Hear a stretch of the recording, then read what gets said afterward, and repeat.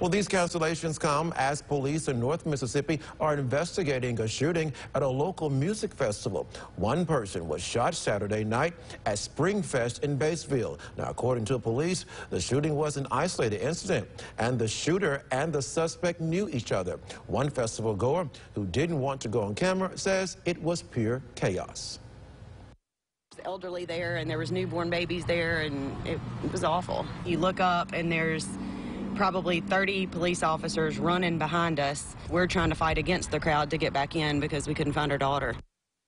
Now, Batesville police say neither the suspect nor the victim are from the area.